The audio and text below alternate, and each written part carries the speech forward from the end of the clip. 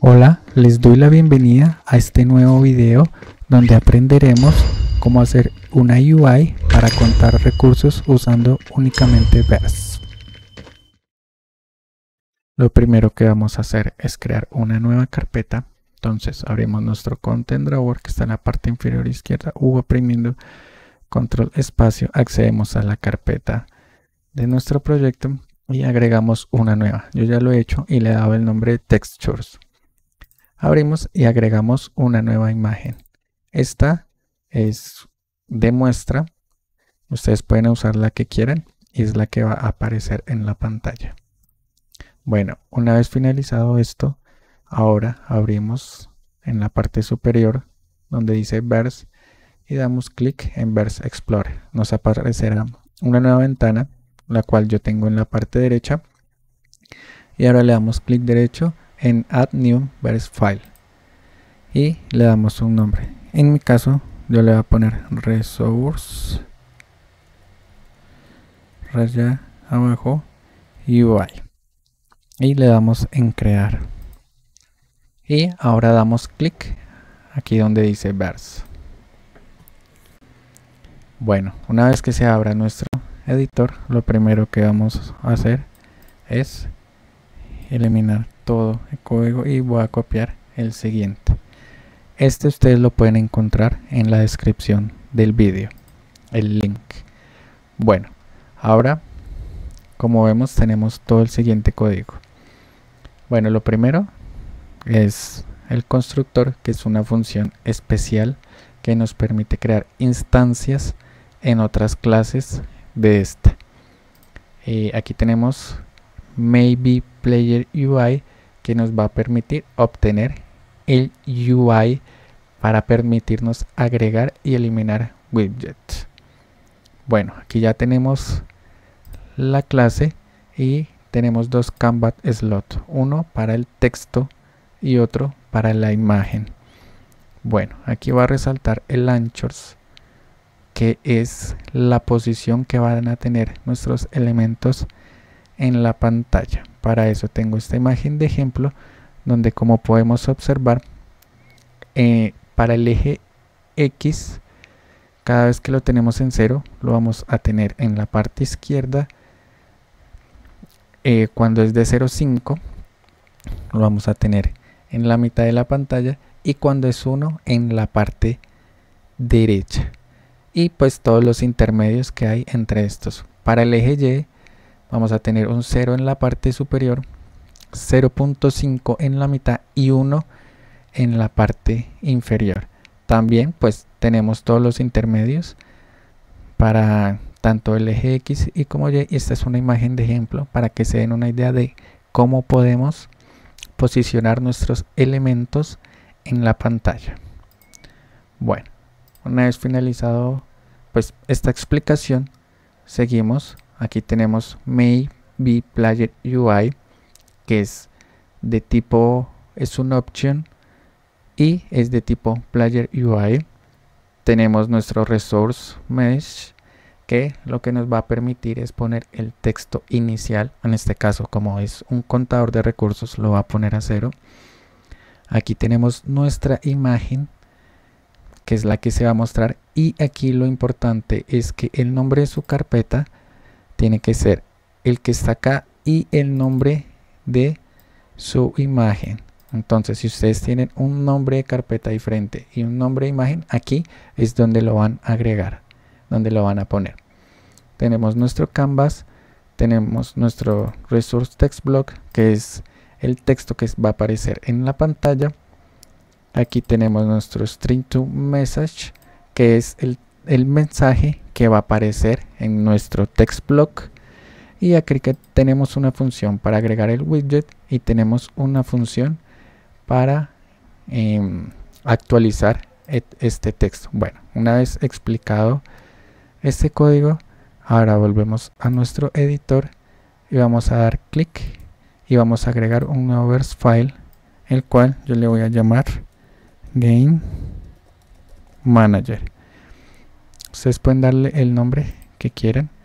Volvemos a nuestro editor y abrimos nuestro Game Manager. Lo primero que vamos a hacer es eliminar todo lo que no necesitamos, como lo son estos comentarios. Y va a dejar únicamente el Hello World para que no me genere un error. Seguido de esto, va a crear un botón condicional al cual le va a asignar el nombre de resource counter con button conditional button device va a ser igual a con conditional button device le va a agregar el atributo editable para exponerlo en el editor y ahora va a agregar un contenedor map llamado resource UI map con key agent y value resource UI igual a map. En este mapa vamos a almacenar una UI por cada jugador. Ahora va a agregar las siguientes funciones. La primera es add UI to player vamos a hacer la private para que solo la podamos acceder desde acá con un parámetro agent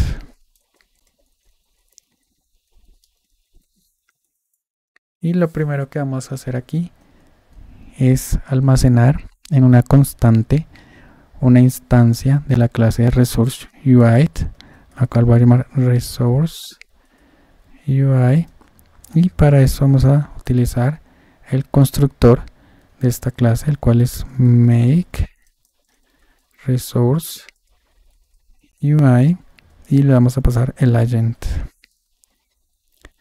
Ahora vamos a utilizar un if para almacenar en nuestro mapa esta instancia resource UI map. Vamos a, utilizar la key que es el agent, el parámetro. Y esto va a ser igual a resource UI. Ahora va a crear una nueva, una nueva constante llamada agent resource UI donde vamos a guardar el valor que tenemos en nuestro mapa.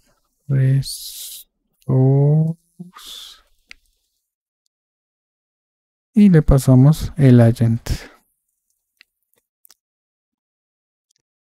Con esto podemos utilizar el agent resource UI y agregar el widget al agent.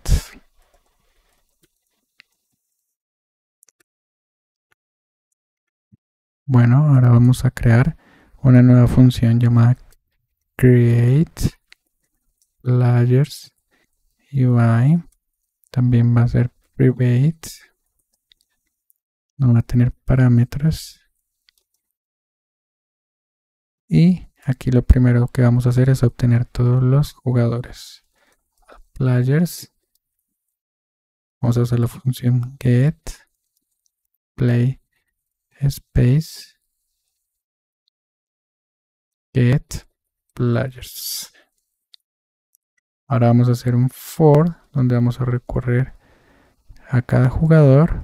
Player. Players. Vamos a obtener el agente el agent. Agent. Haciendo un cast. Agent. Player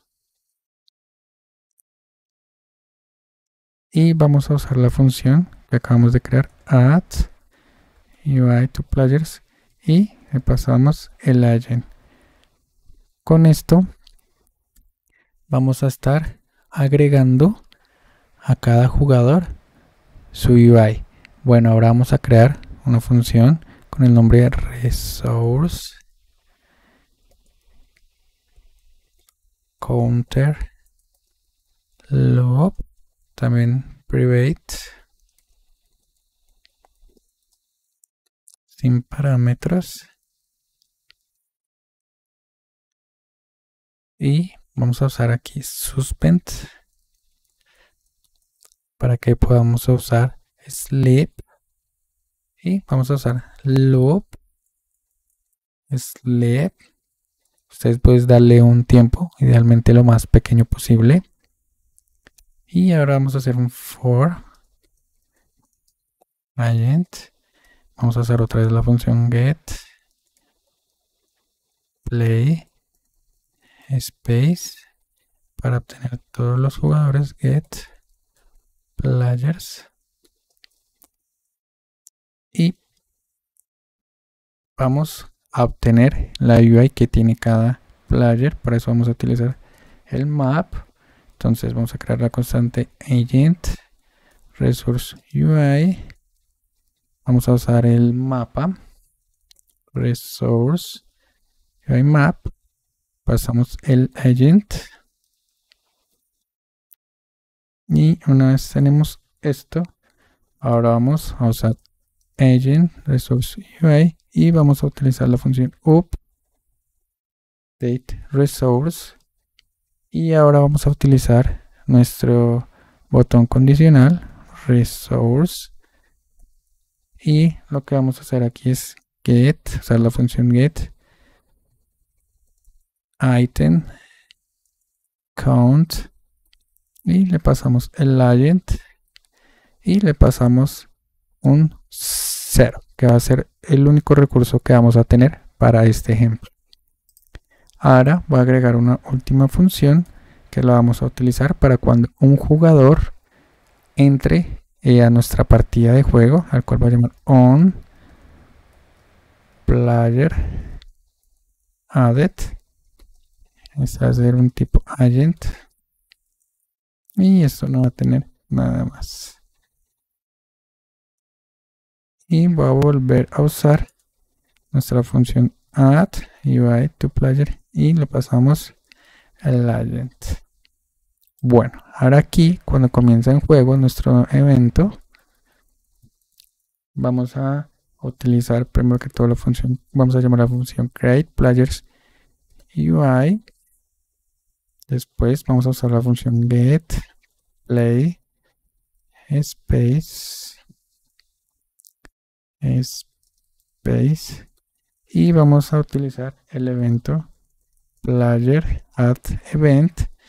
Y vamos a hacer vamos a suscribirlo a la función que acabamos de crear. Subscribe que se llama on player added. Por lo que cada vez que se une un nuevo jugador a nuestra partida llamamos a esta función y le agregamos em, una UI bueno una vez que terminamos esto antes de volver a nuestro proyecto agregamos la función resource counter loop que casi se me olvida Ahora sí guardamos con control S. Volvemos a nuestro proyecto. Vamos a la parte superior donde dice verse y damos clic en Will Verse Code. Bueno, verificamos que nuestro código esté bien. Ahora vamos a nuestro Content Drawer. Vamos a Fortnite Device. Vamos a buscar nuestros button. Lo agregamos también vamos a usar un item spanner.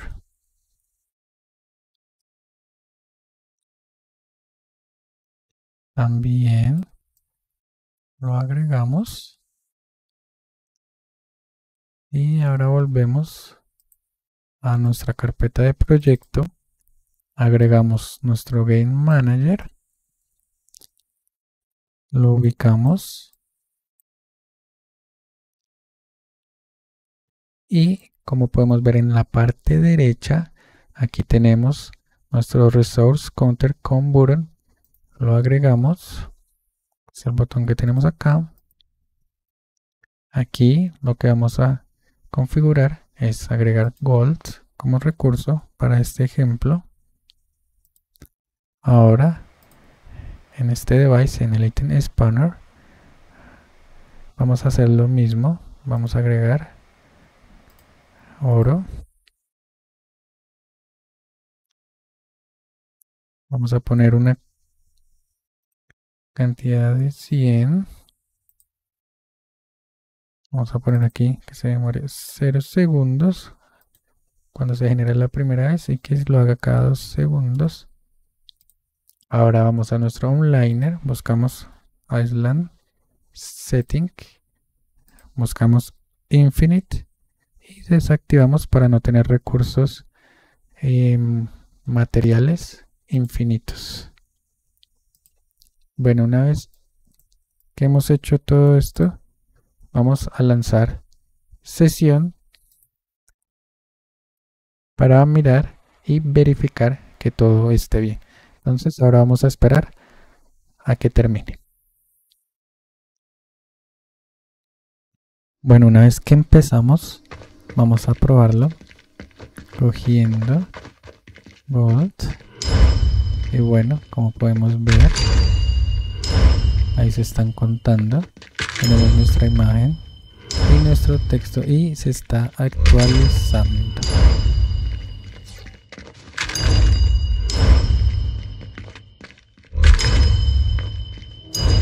Bueno, si te gusta este video y este contenido, te invito a que te suscribas y dale like.